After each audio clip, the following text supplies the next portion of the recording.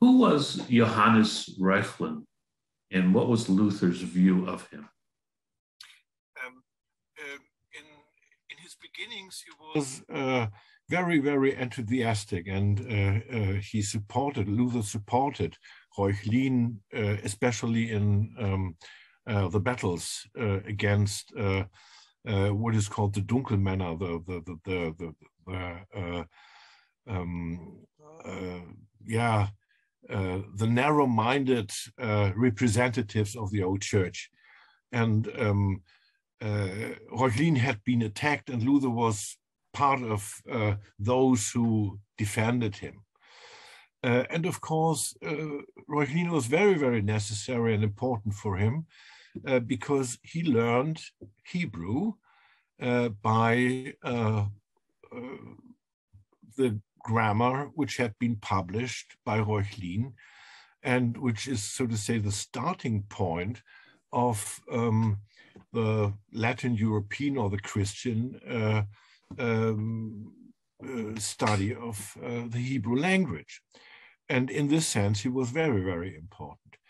Um, and Luther was inclined in the around about 1519, 1520 to bring Reuchlin on his side, but uh, he was not willing. He uh,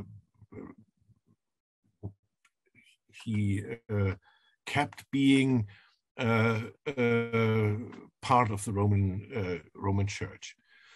Um, and on the on the other hand, there's a great difference between Luther and Reuchlin concerning how to deal with the Jewish people uh, in his own presence.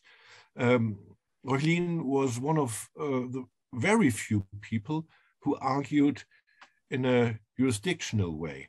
He argued that uh, Jewish people are um, um, members of the Roman Empire and therefore had a certain legal state and they weren't allowed, it, it, was impossible to do anything against the state. So you can't uh, rob uh, a citizen of the uh, Roman Empire his, his, his writings, his uh, manuscripts and so on. Um, and this was an argumentation which was very, very specific for Reuchlin.